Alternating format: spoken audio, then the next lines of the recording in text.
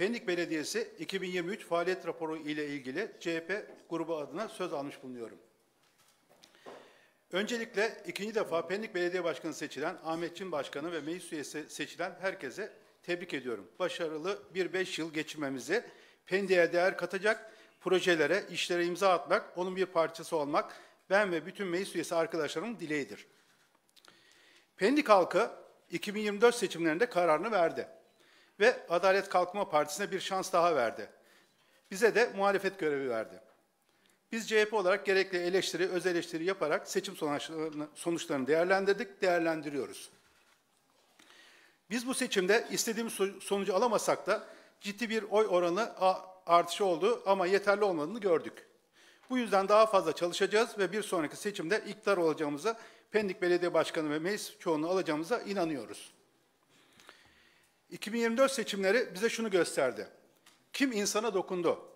Onların dertlerine çare oldu. Güzel projelere imza attı. Kadına, gence, çocuğa, yaşlılara, emeklere, dar gelirlere elini uzattıysa o başarılı oldu. Tıpkı İstanbul Büyükşehir Belediye Başkanımız Ekrem İmamoğlu, Ankara Büyükşehir Belediye Başkanı Mansur Yavaş ve diğerleri gibi. Pendik özelinde tabloya baktığımızda gene Ekrem İmamoğlu AKP'nin kazandığı birçok ilçeden fazla oy aldı. Bunlardan bir tanesi de Pendik. Yani 39 ilçenin 32 tanesinde İmamoğlu fazla oy aldı. Bu tabloda görünen 2019 seçimlerinde %54.76 oranı olan AKP yani Sayın Başkan Ahmet Çin, 2024 seçimlerinde oy oranı %44.69'a düşmüştür. 2019 yerel seçimlerinde meclis üyeleri toplamı Adalet Kalkınma Partisi 30 artı 5, toplam 35 idi. 2024 seçim sonuçlarında 21 artı 5, toplam 26 meclis üyesi seçilmiştir. Hem oy oranı hem de meclis üyelerine, üyelerinde oy kaybetmiştir. Pendik halkı seçimde şunu söylemiştir. Yaptığınız faaliyetler var. Faaliyet raporunda bak belirttikleriniz belirtmişsiniz ama yeterli değil. Daha güzel ve önemli insana, hayvana, çevreye, sanata, spora dokunan ekonominin bu kadar kötü olduğu bir ortamda Pendik halkını biraz olsun rahatlatan projeleri bekliyoruz. İstanbul Büyükşehir Belediyesi ile ortak uyumlu çalışın ve hem Pendik'e hem de İstanbul'a güzel hizmetler verin mesajını verdi. Bu önceliklerinizi yapmazsanız bir sonraki seçimde yapacak başka parti var dedi. Yani Cumhuriyet Halk Partisi var dedi. Kısacası futbol terimiyle sizlere sarı kart gösterdi. 30 yıldır hala imar sorununu konuşuyoruz. Pendik halkına söz veriliyor seçim öncesinde. Seçimden sonra unutuluyor. Pendik halkı artık bu sorunları konuşma, konuşmasın. 2024 yılındayız. Dünya başka konularla ilgili biz Pendik'te hala imar konuşuyoruz. 750 bin nüfuslu İstanbul'un 3. büyük ilçesi, Türkiye'nin 9. büyük ilçesi Pendik, halkı apartman dairesinden yönetiyor. Yani buradan arkadaşlar apartman dairesinden yönetiliyoruz. Kendi belediyesini uzun zamandır yapamayan bir belediyeden söz ediyorum. Ve biz bu belediyeden büyük projeler yapmasını bekliyoruz. Faaliyet raporunda şunu yaptık, bunu yaptık diyebiliyorlar ama yapılanlar bu devasa bütçeyle Pendik için çok az ve yeterli değil. Bir teşekkürüm var. Avukat Burhan Köseoğlu'na. İyi ki Pendik'te belediye başkanlığı yaptı. Pendik merkezde 30 yıldır sel baskını, altyapı sorunu yoksa kendisinin çok büyük emeği var. Pendik'in üst mahallelerinde altyapı ve içme suyu sorunu yoksa Burhan Başkan'ın büyük emeği var. Sizler 30 yıldır merkez mahallelerde bir çivi çakmadınız. Başkanıma aciz şifalar diliyorum. Sayın Başkanım, değerli meclis üyeleri. Kültürel etkinlikler tekrar gözden geçirilsin. Sadece bir ve ikinci sıranın dolduğu, salonların büyük bölümü boş olan konuşmacılar için ciddi paralar ödendiği görülüyor.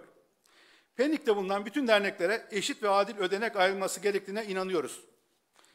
Yardımların sadece yandaş derneklere değil, Pendik'te faaliyet gösteren diğer derneklere ve sivil toplum kuruluşlarına da adil bir adil biçimde dağıtılmasını bekliyoruz.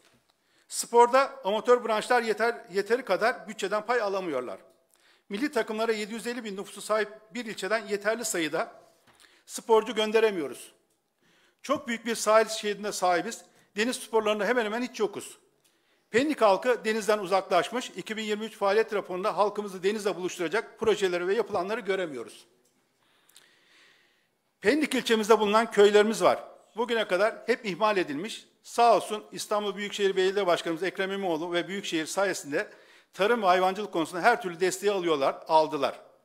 Pendik Belediyesi birkaç köye halı saha, spor salonu, konuk evi ve benzeri hizmetler yapmıştır. Bunların dışında ilgili köylerde yaşam kalitesini, ekonomisini yükseltecek bir faaliyeti görülememektedir. Seçim süreci ve öncesinde görüştüğümüz, konuştuğumuz esnaflarımız dertli. Zaten zor geçiniyoruz, hayat çok pahalı diyorlar. Ve Pendik uyuyan bir ilçe durumuna düşürüldü. Sabah saat 10'da esnaf dükkanını açıyor ve akşam saat 20'de kapatıyor. Sadece sahilde bulunan kafeler az da olsa açık vaziyette. Acil esnafımızı ve Pendik'imizi yaşayan bir ilçe yapmak için çalışmalıyız. 2023 faaliyet raporunda esnaflarımızla ilgili yapılanları yeterli kadar göremedik. Pendik özellikle çarşı et ve çöp kokusu var. Yeteri kadar temizlik yapılmıyor. Çöp konteynerleri pislik içinde, kapaklar açık vaziyette, ciddi ayrılan bütçe ile daha hizmet verilebilir. Özellikle yukarı mahallelerde sinek, böcek ve haşere ile ilgili ciddi sorunlar devam etmekte. İlgili raporda eksik kaldığına bu dönemde daha fazla çaba ve bütçe konulmasını öneriyoruz. Hayvan barınaklarının daha çok hijyen ve temizlik konusunda yapılandırılması, sayılarının arttırılması ve gerekli gıda ve veteriner kontrolünün sıklaşması gerekiyor. Zor durumda olan emekli, yaşlı, engelli vatandaşlarımıza aile ve nakli yardımlar faaliyet raporunda görüyoruz. Devletimiz inşallah bu kesimde olan vatandaşlarımıza daha fazla katkı destek sunar. İlgili kişiler insan onuruna yakışır bir şekilde yardıma muhtaç kalmadan hayatlarını sürdürürler. Evet, 46.117 sosyal inceleme gerçekleşmiş. 15.158 aileye sosyal destek kartı verilmiş. Ayrıca asgari, asgari geçimini sağlayan 40.874 kişiye nakdi yardım yani 52 milyon 340 bin 770 TL nakdi yardım yapılmıştır. İlgili yardımları bu ekonomik zorluklar devam ettiği sürece, enflasyon devamlı arttığı sürece arttırarak yardım yapılması düşüncesindeyiz. Sadece istediğimiz adil ve gerçekten ihtiyacı olana yardım edilmesi. Pendik halkının bizden beklentileri çok. 2023 faaliyet raporunda misyon ve vizyon bölümünde toplumun her kesimini kucaklayan, katılımcı, belediyecilik anlayışı ile kanunların yetki ve sorumluluğu çerçevesinde halkımızın tüm ihtiyaçlarını ve beklentilerini karşılamaya yönelik çevreye duyarlı, planlı, kaliteli ve çözüm odaklı hizmet sunmak olarak belirtilmiştir. Yazı olarak çok güzel ama uygulama aynı değil. Siz toplumun bütün herkesini kucaklamadınız. Bunu yapılan yardımlardan anlıyoruz. Hiçbir zaman benim mahallem veya başka bir mahalleden insanla görüşüp katılımcı bir belediyecilik yapmadınız. Çevreye duyarlıyız diyorsunuz. Lütfen etrafına bir bakın. Her taraf dökülüyor. Ağaç dikiliyor, bahçe ve park yapılıyor. Sonra ne bir sulama ne bir bakım ve bu misyonumuz olarak aynı zamanda kaliteli ve planlı ve çözüm odaklı diyorsunuz. Bizim gördüğümüz Pendik halkı da görüyor ve siz, size sarı kart verdiği gerçeğini değiştirmiyor. 2023 faaliyet raporu beklentilerimizin altında kalmıştır. Gerçekçi olmak gerekirse Sayın Ahmetçin 2019 yılında seçim çalışmalarında Pendik halkından oy almak için hazırladığı projeler ve yapacağım dediği çoğu şeyleri gerçekleştiremedi.